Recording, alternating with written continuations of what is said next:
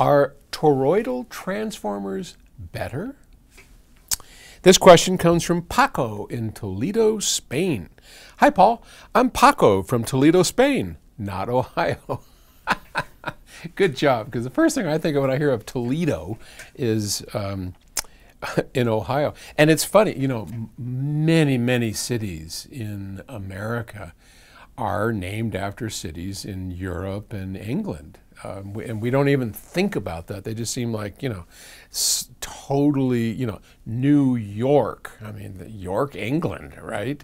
Uh, New Brunswick. I mean, it's, you, you go through, uh, oh, I mean, on and on and on. And I didn't know that Toledo was from Spain. There you go.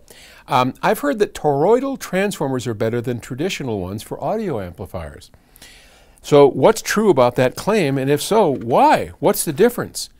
PS audio. PS audio. Oh, I see. I love the sound of my sprout paired with my father's old AR speakers, despite not being fitted with a toroidal transformer.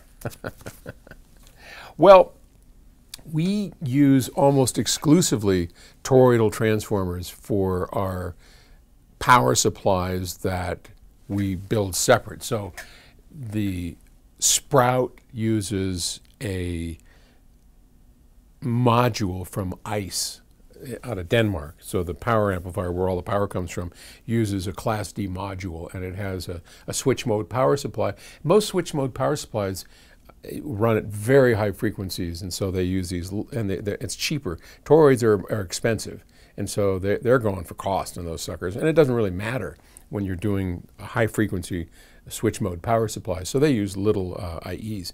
So let me show you. Um, a traditional transformer is this. So what I'm showing here, this is what's called an EI transformer. and it, it's a, a series of, it's a square for Ohm's Law listeners. We're looking at a square with a round bobbin on, on it. So just picture this square block of iron, which is made up of little interleaved laminations, little thin sheets, uh, actually in the form of E's and I's, that are put together to form the core of this. And then there's wire wrapped around the the bobbin on this and this this is what's called an EI transformer and it's the lowest cost transformer. We don't use many of these.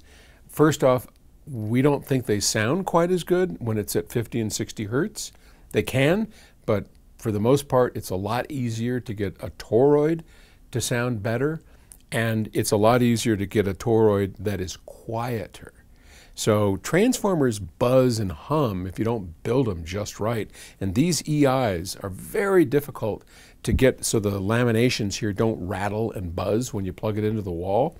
We used to do stuff when we used these. We would super glue the laminations together. We put epoxy over them. We would do everything we possibly could to get them to be quiet and it was really it was really quite a challenge and they didn't sound quite as good but they were cheaper so here well, here's here, so we don't kill me. here's a little toroid. There's, if you can see, there's big. This is this. Here, I'll pick it up. Oh, why not? Oh, I mean, this is probably 30 pounds. This is a big toroid, and uh, oh, Jesus. As you can see, I'm going to hold the little guy. All right, this is more of something we put into a DAC or something. The toroids are round, and Remember how we had laminations, that square set of laminations on here? Well, you can't see them, but inside on a toroid, those laminations are basically steel that is wound around in a circle, and then there's a machine that that takes these that, that this you can see the copper. You can look up here. You can see there's copper on here. These are copper wires that are wound around that steel core to form the toroidal transformer. The field is more contained on a toroid, it's more efficient, and in our opinion, yeah, it sounds better. And that's why for just about every product that PS Audio makes, we use toroidal transformers rather than EI transformers. Both can sound great. There are, oh, you know, there's tons of different variations on the EI. There's a split bobbin, there's a, uh, oh, what do they call that? Don't remember now. But anyway, there's a whole bunch of different ways to do it, and some of them are just extremely good sounding. But in general, it's a lot easier to make a quiet, great sounding transformer by using toroids, which is mostly what we use. Okay? All right. Thanks for the question. Have fun out there in Toledo.